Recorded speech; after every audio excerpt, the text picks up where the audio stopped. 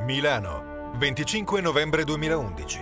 Fiera internazionale Step 09. Nella prestigiosa location del Museo Nazionale Leonardo da Vinci, Giorgetti, l'erede di Rothko, presenta la sua prima opera social 2.0 della storia dell'arte mondiale. L'opera, dal semplice titolo Frame 100, a primo impatto sembra una normalissima tela dedicata all'astrattismo americano degli anni 50 ma osservando bene viene fuori la genialità dell'astrattista, che in realtà ha creato una complessa struttura composta da 100 mini tele vendute singolarmente in frame, ponendo l'arte alla portata di tutti.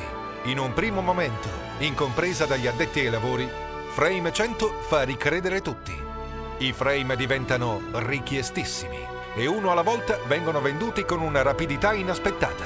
Frame 100 L'idea geniale e creativa di Giorgetti, che ha dato una scossa alla crisi dell'arte contemporanea, viene citata nei forum di tutto il web, condivisa sui social network, sui blog RAI e su siti d'arte di tutto il mondo.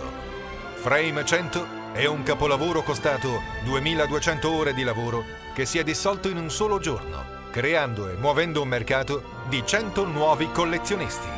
100 mini capolavori che vagheranno nel mercato mondiale dell'arte per sempre. 100 frame numerati che non saranno mai più riprodotti e che sono già ricercatissimi. Un'opera che continuerà a esistere nella sua integrità solo in una litografia, mentre 100 mini frame sono già sparsi in tutto il pianeta. Frame 100 di Giorgetti e la storia.